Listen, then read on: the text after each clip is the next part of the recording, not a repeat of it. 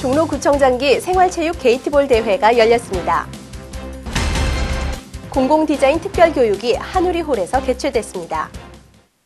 시청자 여러분 안녕하십니까? 종로 주간 뉴스입니다. 첫 소식입니다. 구민들의 건강을 증진하기 위한 제20회 종로구청장기 생활체육 게이트볼 대회가 지난 5월 31일 사직공원에서 펼쳐졌습니다. 종로구가 주최하고 구민생활체육 종로구 게이트볼 연합회가 주관한 이번 대회는 삼청동 게이트볼 연합회 외 15개 팀이 참가했습니다. 이날 펼쳐진 대회에서 참가자들은 그동안 쌓아왔던 기량을 뽐내는 시간을 갖는 동시에 친목과 화합의 계기를 마련했습니다. 이날 대회의 최종 우승팀은 효자동 게이트볼 연합회 팀이 차지했습니다.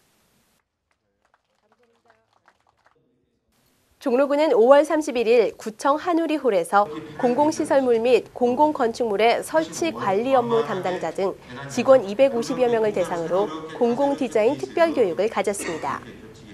이날 홍익대학교 미대 디자인학부 이정교 교수가 강사로 초빙돼 공공디자인의 필요성과 공공디자인 선진 사례, 디자인 서울 가이드라인 등을 중심으로 이야기를 풀어갔습니다.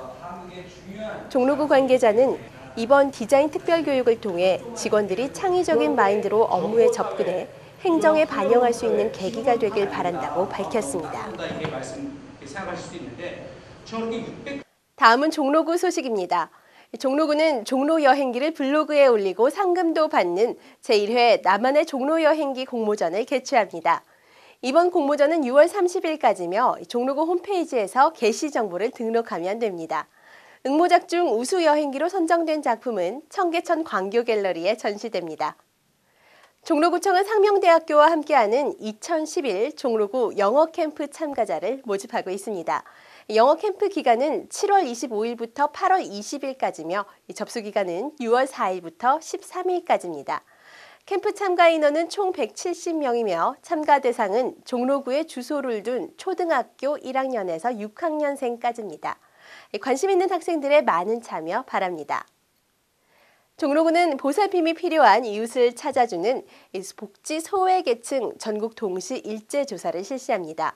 조사 기간은 6월 15일까지며 신고하실 곳은 129번 보건복지 콜센터와 731국의 1220번 종로구 신고센터입니다.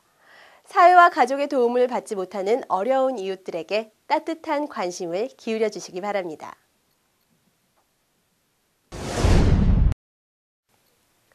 최근 오디션 프로그램이 인기를 끌면서 출연자의 행동이나 말도 함께 화제가 되고 있는데요.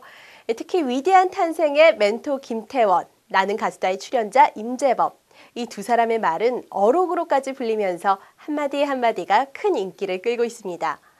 특히 젊은 시청자들에게는 프로그램 속 멘토가 아니라 진정한 인생 선배가 해주는 따뜻한 조언으로 들린다는 평이 지배적인데요.